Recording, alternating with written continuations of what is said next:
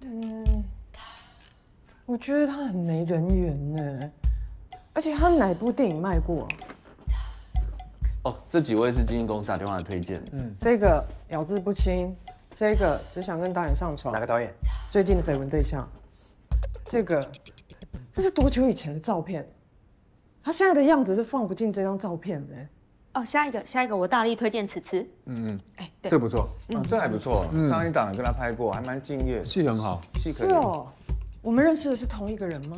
呃，但是我觉得他个子太高，那男演员容易被吃掉。那下一个吧。嗯，好。哎，我觉得还是年龄耐看，漂亮的很有味道，而且这几年演技都开窍。吴心怡，哎，是不是演那个什么什么爱你还信奴那个男的？重要了。于心你不是我的女主角。为什么？因为他的经纪人很难搞啊。他的经纪人难搞，还不是被你搞上了？